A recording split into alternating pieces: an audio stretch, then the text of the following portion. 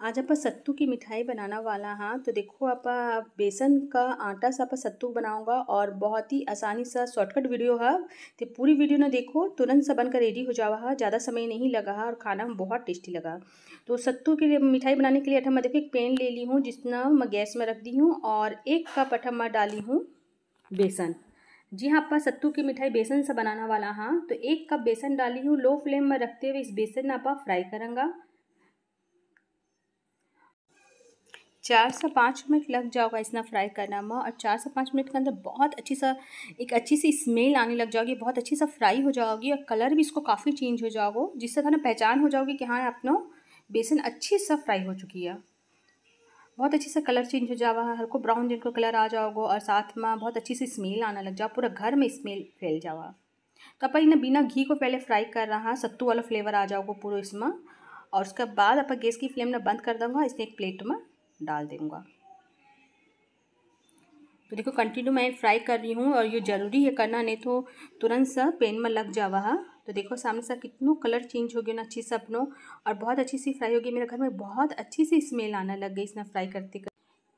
तो अब देखो आप गैस का फ्लेम ना बंद कर दूँगा, इसने एक प्लेट में मैं डाल दूँगी और इसने पहले आप ठंडो करूँगा, उसके बाद इसने एक छलनी की सहायता से मैं छानूँगी।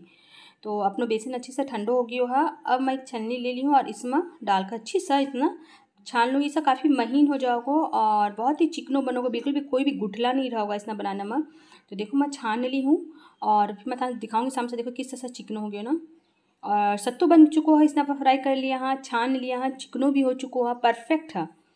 फिर से एक पैन ले ली हूँ मैं, जिसमें मैं डाल रही हूँ लगभग चार चम्मच। में घी डाली हूँ और कप का मेजर से दिखेगा वन बाई फोर्थ कप है। तो किसी भी घर में थारे पास कोई भी कप हो, उस मेज़र से सारी प्रोसेस कर सको हो अपनी उस कप का मैथड से थे। बेसन ले लो, उसी से चीनी ले लो और उसी से सब कुछ आप करेंगा, घी ले लेंगा। तो अठा वन बाई फोर्थ कप मैं घी डाली हूँ और बेसन ने इसमें डाल दी हूँ और अच्छी सा बेसन ना मिला लूँगी। घी के साथ अपन ना ज़्यादा फ्राई नहीं करना हो क्योंकि आप बेसन ना फ्राई कर चुका है। तो इसलिए बस घी में अच्छी से इतना बेसन ना मिला लेना हो, फिर गैस की फ्लेम ना मैं बंद कर दी हूँ। अब इसी ना वापस सा प्लेट में आप निकाल लूँगा। और निकालने के बाद अब आप बेसन ना ठंडो करूँगा, उसके बाद इसमें आप चीनी मिलाऊँगा। तो पहले बेसन ना मैं ठंडो करूँगी, उसके बाद चीनी मिलाऊँगी। वरना चीनी पानी छोड़ देगी, और जिससे क्या होगा, अपना लड्डू या फिर आप जो भी सेब देंगे, वो अच्छो नहीं बंद होगा। तो ज़रूरी है ठंडो करने के बाद ही इसमें मैं चीनी पीसी हुई चीनी डाली हूँ, हाफ़ कप। वो इसमें मिला रही हूँ। अच्छी सा चीनी ना पीस ली थी, बिल्कुल भी उसमें कोई दाना नहीं था। चीनी ना पीस कर इसमें डाल दी हूँ, हाफ़ कप चीनी है, अच्छी सा आप इसमें मिला लूँगा और इस तरह से देखो लड्डू जैन बंधने लग जाओगे ना तो बस काफ़ी है। और कोई भी कारण से अगर थोड़ा बंद नहीं रहो ना तो फिर उसमें थोड़ा सा घी मिला सको, कोई दिक्कत नहीं है। अब अठा सी देखो, मैं, कुछ ड्राई फ्रूट डाल दी, बादाम हाँ काजू है थारे पास जो भी ड्राई फ्रूट्स है, किशमिश वगैरह थे डाल सको। और इस तरह से ना लड्डू की सेप दूँगी। देखो। तो अपनी सत्तू की मिठाई बनकर तैयार है। इस तरह से आप एक एक कर कर रेडी कर लूँगा लड्डू ना। थे चाहो तो एक प्लेट में इसमें जमा भी सको हो, काट कटिंग कर कर चक्की की जगह निकाल भी सको हो तो कोई दिक्कत नहीं है। तो मैं लड्डू की सेप दे रही हूँ। तो आप देखो, एक बड़ो लड्डू, थोड़ा सा बड़ो लड्डू मैं बना लूँगी, जो बीच में रखूँगा आप डेकोरेशन करने के टाइम पर। ये देखो, बड़ो वालों मैं बीच में रख दी हूँ साइड में छोटा वाला लड्डू ना रख दूँगी। तीज स्पेशल मिठाई है तो इसने ज़रूर ट्राई करो। बहुत ही अच्छी लगा देखना माँ, और अभी मैं जो डेकोरेट करूँगी, वो भी देखियो कितना अच्छा लगोगे। तो एक एक करके सब माँ सिंगल पीस में, बादाम ना लगा दूँगी।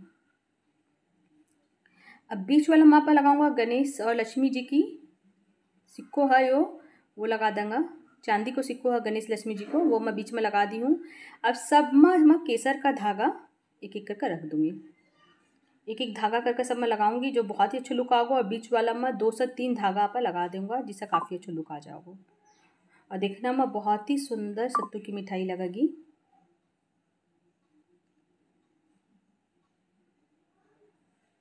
इस तरह से देखो।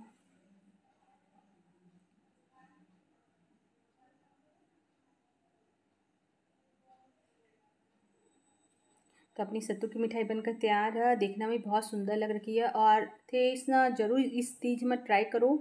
बहुत ज़्यादा सुंदर लगा खाना में बहुत टेस्टी है। और कलर भी देख देख सको थे बहुत अच्छो आयो ना।